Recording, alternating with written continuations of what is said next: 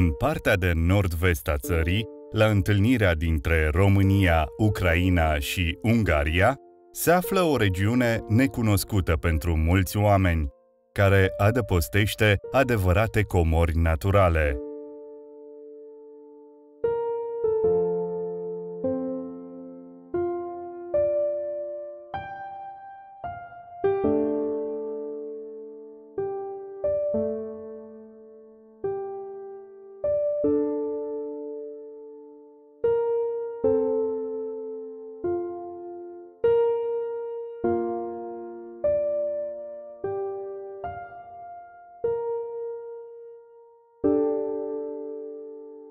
Pe apa canalului unui sat din apropiere înnoată o lebădă, musafir de iarnă singuratic, rămas aici.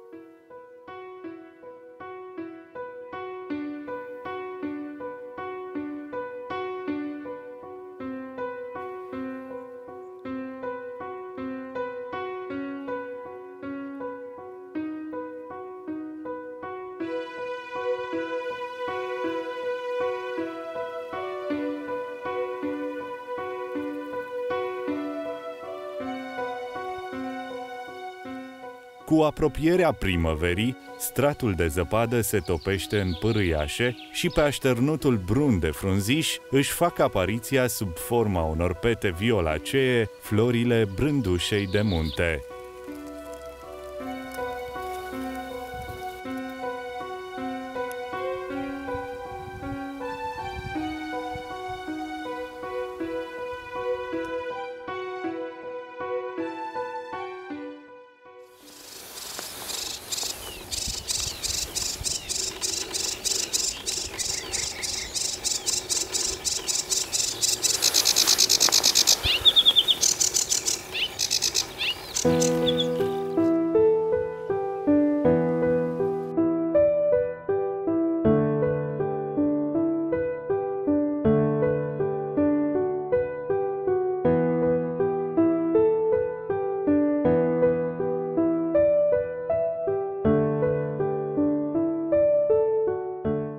Voluntarii Societății Carpatine Ardelene, în custodia căreia se află rezervația naturală Râul Tur, plantează puieți de copaci pe malul râului, profitând de zilele însorite ale primăverii.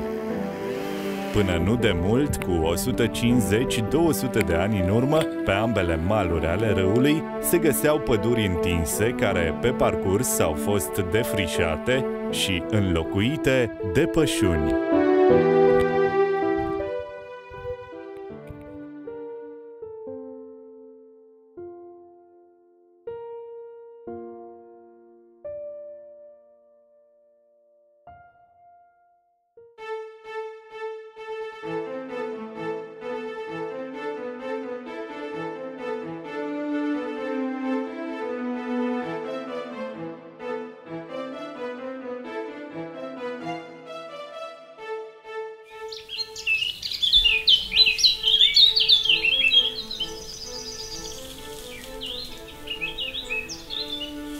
Poenile pantelor însorite de pe dealuri, irisul bărbos își deschide primăvara petalele.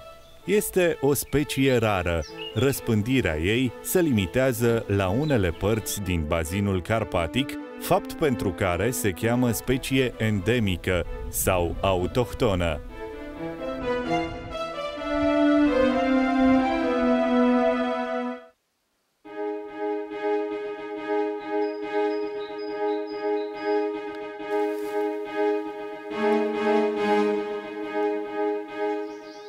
În pădurile bătrâne de stejar putem întâlni o insectă de dimensiuni remarcabile, rădașca. Larva ei se dezvoltă și trăiește doar în trunchiurile bătrâne, putrezânde. Masculii, care au niște mandibule uriașe în comparație cu lungimea corpului lor, decid prin luptă cine poate rămâne pe copac pentru a se împerechea cu femelele care așteaptă sfârșitul luptei.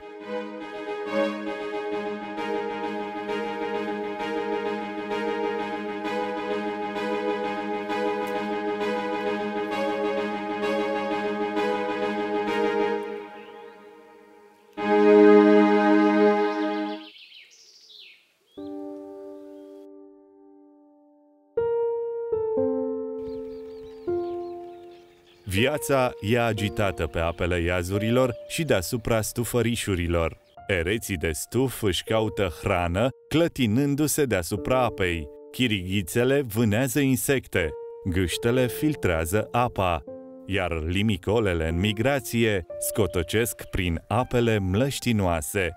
După o lungă călătorie, au apărut și berzele albe, care, asemenea stârcilor, se plimbă și se hrănesc în apă, încercând să prindă putere pentru începerea clocitului.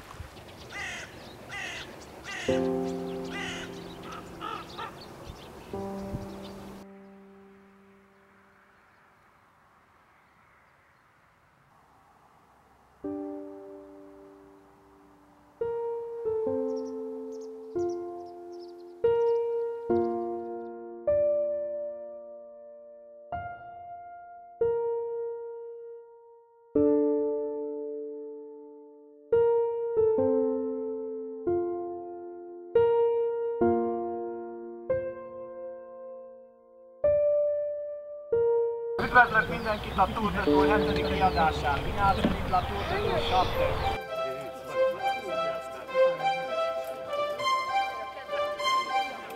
7. În rezervația Râul Tur se organizează în fiecare an concursul de orientare ciclistă Tour de Tur, la care sosesc participanți din mai multe părți ale țării. Competiția reprezintă o posibilitate bună pentru concurenți să cunoască valorile naturale din împrejurimi.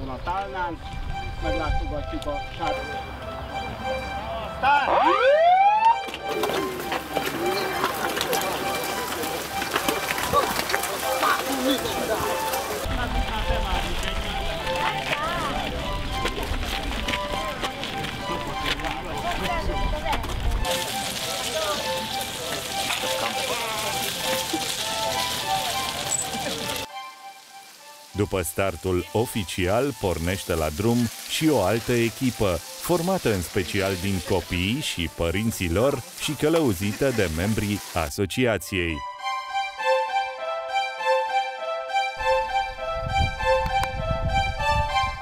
Emeșa și Tibor din satul mare participă la excursie împreună cu băiețelul lor.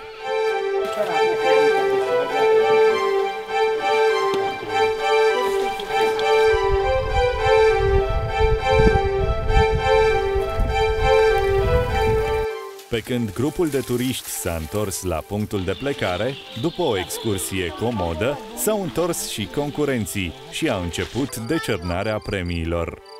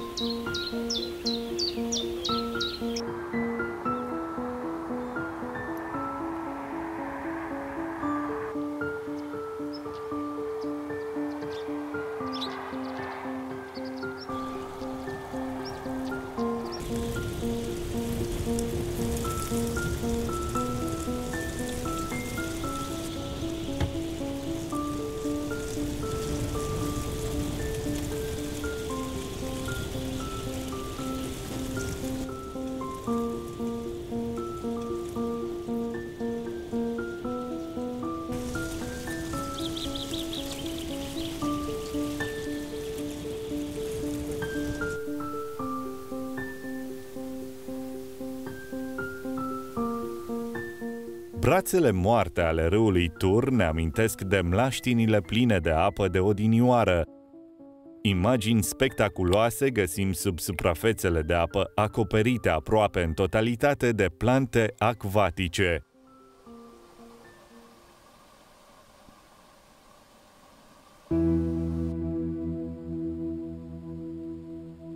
În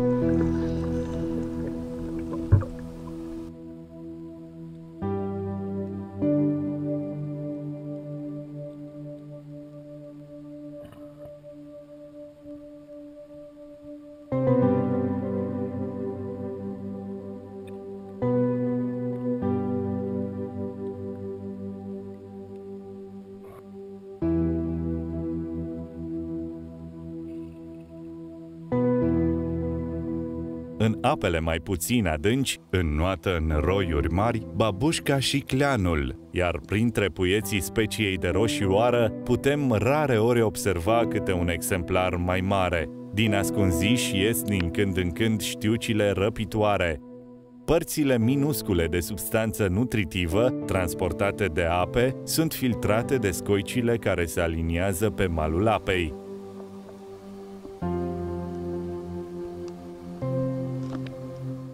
Melcii de apă se hrănesc cu detritusul de pe suprafața plantelor.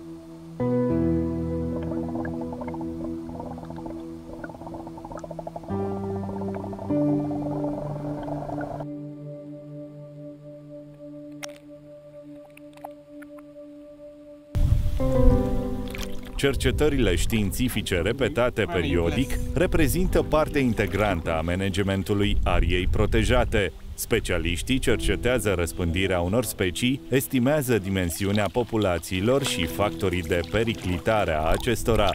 Studiul peștilor este foarte important, deoarece ei indică starea de sănătate a apei și reprezintă hrana mai multor specii de păsări de apă.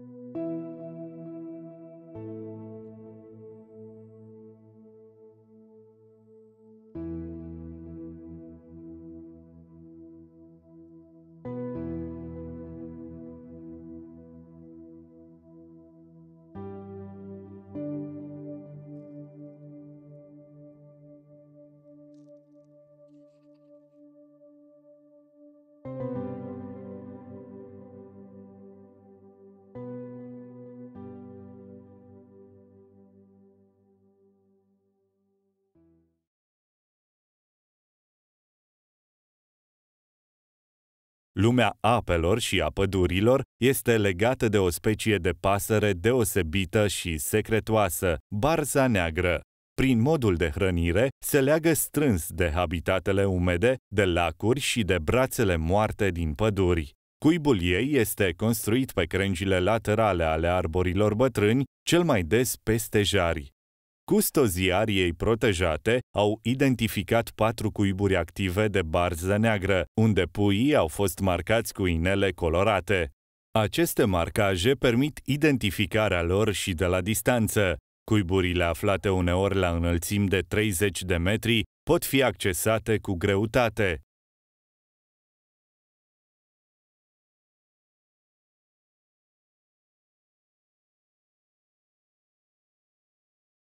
Puii de barză nu i-au întâmpinat cu mare prietenie pe ornitologii vizitatori.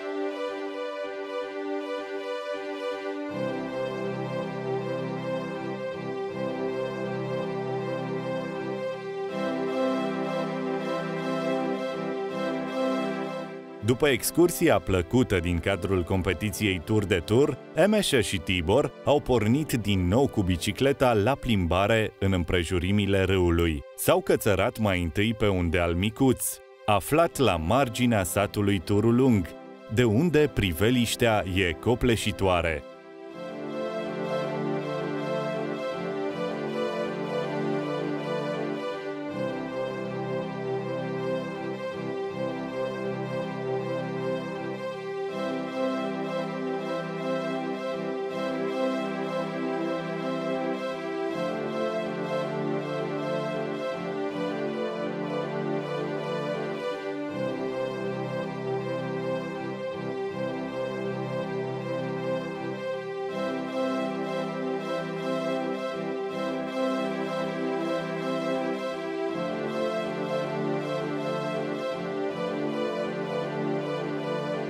Întâlnirea câmpului cu zona de deal reprezintă un loc propice pentru cultivarea viței de vie.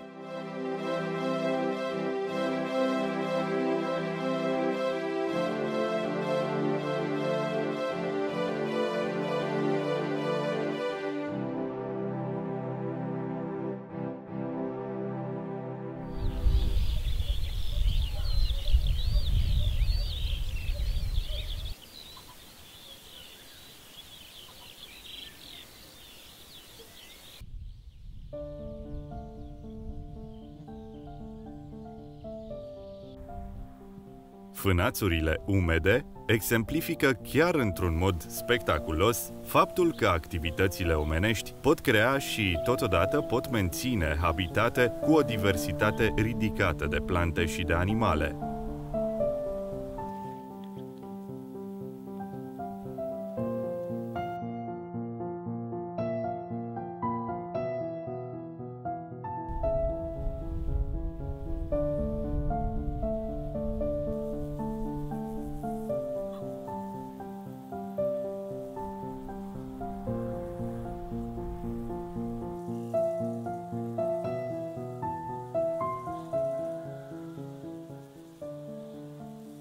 Pe lângă flori găsim aici mai ales specii de insecte. Cea mai interesantă dintre ele este Maculinea teleius, o specie de fluture care trăiește exclusiv în împrejurimile sorbestrelor. După ce ouăle se dezvoltă în inflorescență, omizile coboară pe pământ și, dacă au noroc, sunt transportate de furnici într-un mușuroi, unde ele vor fi tratate ca și cum ar fi larve de furnici.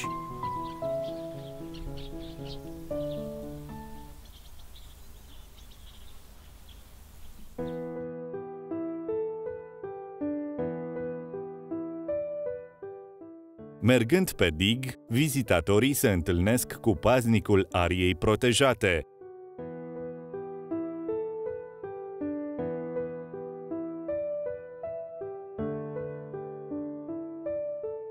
Protecția ariei de peste 20.000 de hectare este o sarcină grea și anevoioasă, unde întotdeauna există probleme de rezolvat.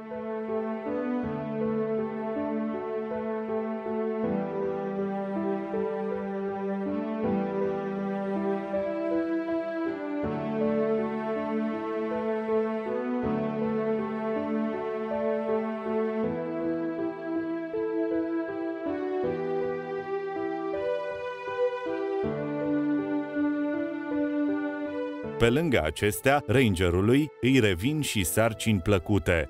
Acum trebuie să verifice cuibul berzei negre, pasărea simbol a rezervației. Puii acestei specii rare și timide au fost inelați de câteva săptămâni de către specialiști,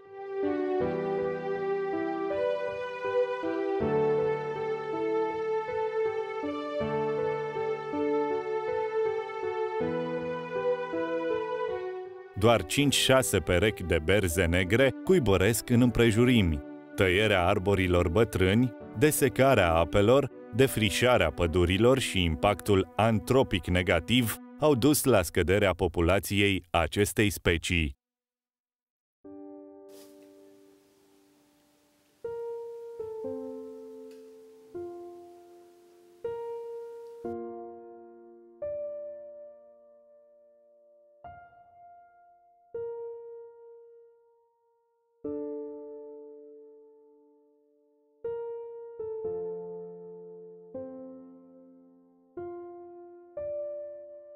Continuare, depinde numai de oameni, de toți cei interesați de această regiune deosebită, ca vizitatorii care vor veni în deceniile următoare să găsească la fel de multe valori de admirat.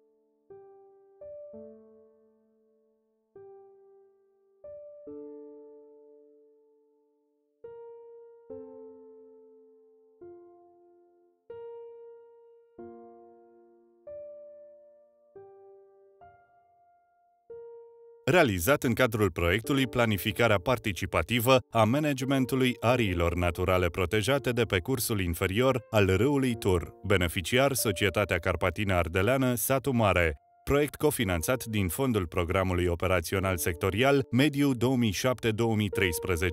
AP4.